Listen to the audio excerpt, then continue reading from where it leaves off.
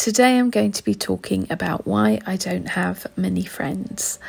So, I guess you could look at this video as part art process and part podcast. I'm not going to be talking about the art process at all. That's just going to be on screen in place of, I guess, where you would normally see someone sitting down and talking to the camera. You're going to be watching me create some artwork while I chat to you about why I don't have many friends in my life. Now, before we start, I don't want this to come across as being in any way, poor me, I'm such a victim, I have such a terrible life, because I really don't. I have a good life and I have friends, and I'm very grateful for the friends I have. I just don't have very many friends, and I want to talk about some of the reasons why that is. And I'm hoping that by being honest about this, that perhaps it will resonate with some of you and help you to feel maybe a little less alone in this because I think this is more common than we think. So, I'm just going to tell you a little bit about my life, a little bit about the difficulties I've encountered, and um, yeah, a little bit about why I don't tend to have a very big circle of friends at all. I would say I currently have three close friends. They all live quite a distance from me, and they're all people that I very rarely see. Now, I saw them a little bit more often pre pandemic. Since then, I haven't seen them very much at all, although I hope that will change in the future. But even pre pandemic, I saw them maybe once a year, some of them, um, maybe every few months. And the interesting thing is, I think that all of my friends have a much bigger friendship group than I do. I don't tend to mix with my friends' friends. When I see my friends, I see them on their own, generally speaking. And I think this is because I always feel so much better just in a one to one kind of situation. I'm definitely somebody who feels very depleted and exhausted if I spend time in big groups of people. And this has been the case actually ever since I was at school. So, pretty much my entire life, I found large groups of people quite exhausting. And for many years, I didn't know why that was. I just thought I was really strange and that there was something wrong with me. But as it turns out, um, I'm just an introvert. And apparently, this is how introverts are. I heard that extroverts get their energy from being around other people, whereas introverts get their energy from being on their own.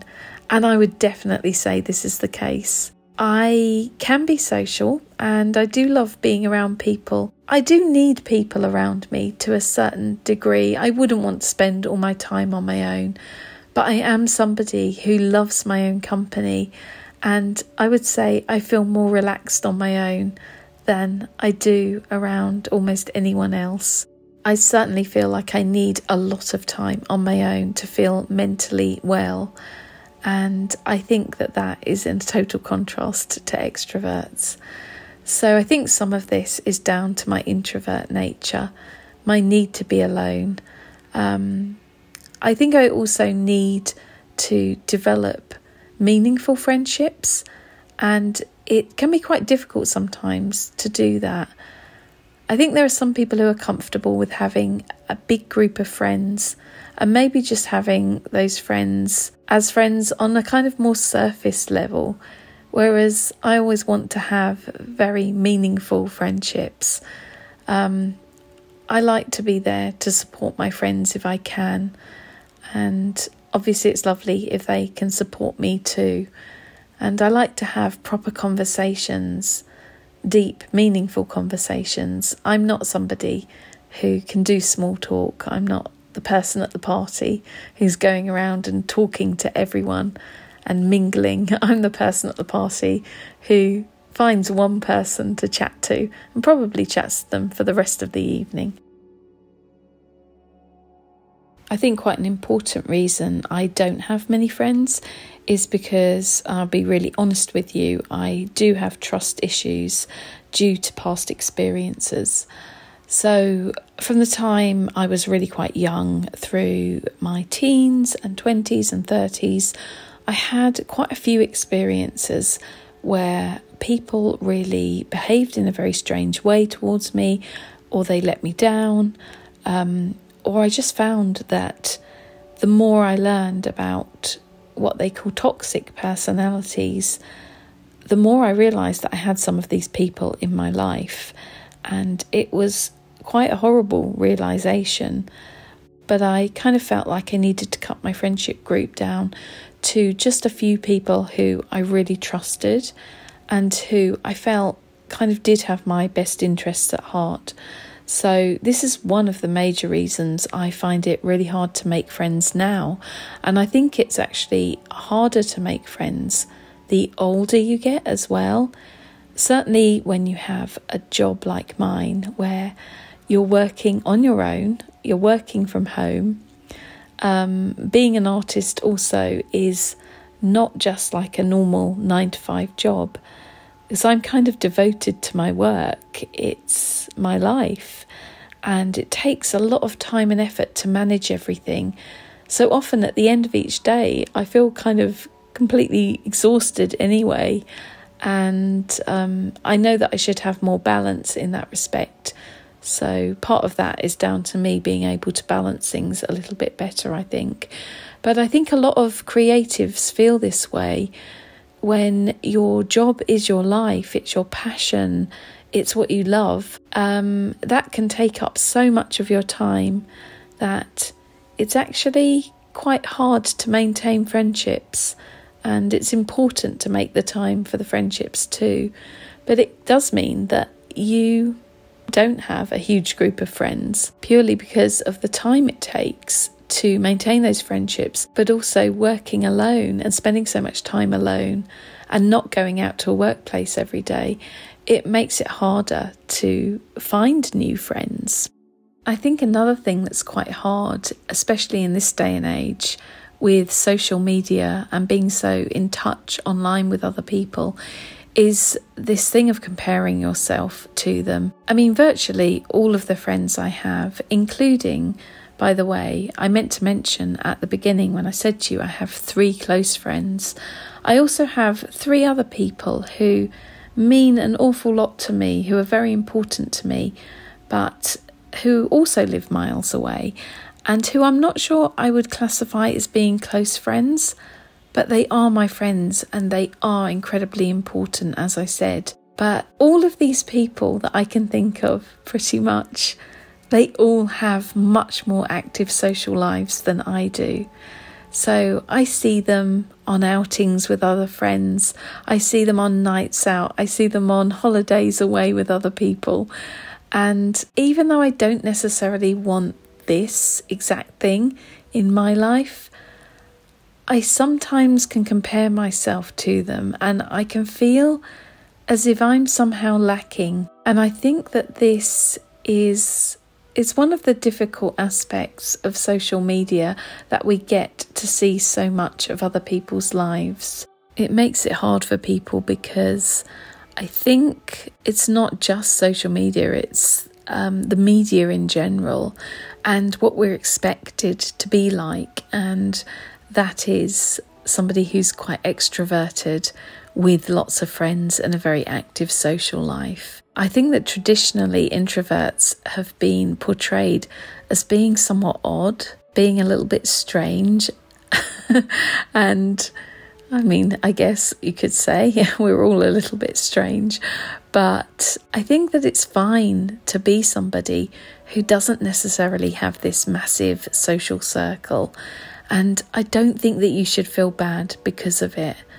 I'm certainly working on trying to just accept the way I am now rather than trying to change to please other people. There was a time a while ago now, I'm going back about 20 years now, and I had a job in a shop because I wasn't yet an artist.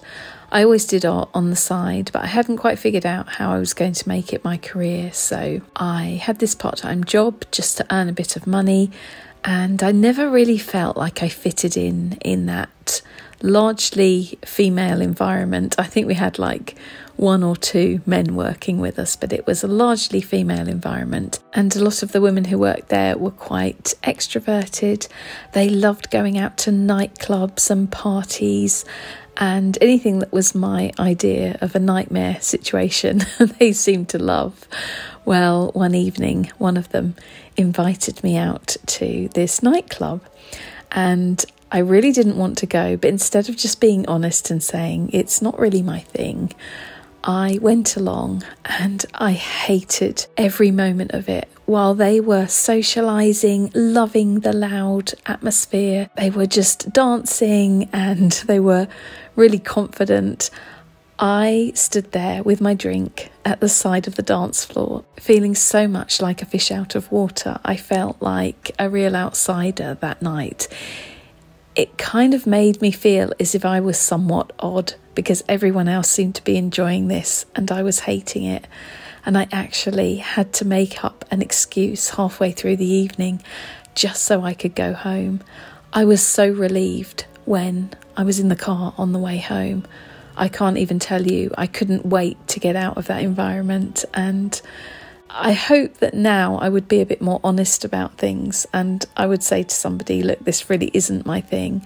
I think this is one of the benefits of getting older. You're kind of more able to speak up for yourself and be honest about what you like and dislike and be honest about who you really are. So, I guess what I wanted to say with this video and this little chat is that you can never know really what's going on in someone's life. I guess there are people who could look at me and think, she has a YouTube channel, she must be really confident. and perhaps, I don't know, they visualize my life as being something different to how it actually is. And perhaps people also think if someone has a big online following, so because of my art, because of promoting my art, and posting it online over many, many years, I've managed to get a following of over 100,000 on Instagram. And I have this YouTube channel now, which is up to, I think it's at 21,000 at the time of recording this. Um, and yeah, that's a that's a big following. That's a lot of people, and I've met some wonderful people. I would actually quite like some of them to become real life friendships how do you move from it being an online friendship to a real life friendship? Especially when people are spread out all over the country or all over the world. Um, it's very difficult. It's not like being a child, is it? When you could go up to someone in the playground and say, Would you like to be my friend? when you were at school. As an adult, it's much harder to make friends so, to end this, I guess I'd like to say that I think it's important to have a good support network, um, whether that's in real life or online, because your online friends can be there for you too. I've found such a community of like minded people online. I always felt like a bit of an outsider until I started sharing my art online, and then I found my people. And now, of course, that extends to you, my YouTube subscribers, and also my patrons on Patreon. I've been running my Patreon page now for um, about eight or nine months, and I have some people on there who've been with me from the beginning, and they are just the most incredible bunch of people. And they are a wonderful support network and a wonderful community. And I do think that that counts as friendship in a way, even if they're people who you're not seeing in the real world as such. I mean, behind every one of these avatars, there's a real person, and we're all connecting with each other.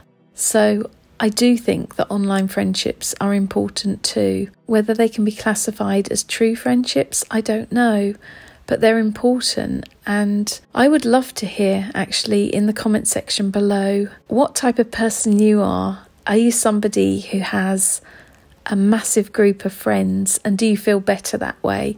Or are you somebody who just chooses to have a few close friends or maybe a couple of friends? Are you someone with no friends? Let me know what you think about all of this. Let me know what you think about friendship in general, about online friendships versus real life ones, online communities. I'd be really interested to have a chat with you in the comments about this. Well, I hope you found this interesting, and if you did, please give it a thumbs up, leave a comment, like, subscribe, all of that kind of stuff. It all helps my videos to be seen by a wider audience on YouTube. So it helps out my channel when you do that. So thank you. I'm going to sign off now. So take care, stay creative, know that I value this community here, and I'll see you all again soon in the next video.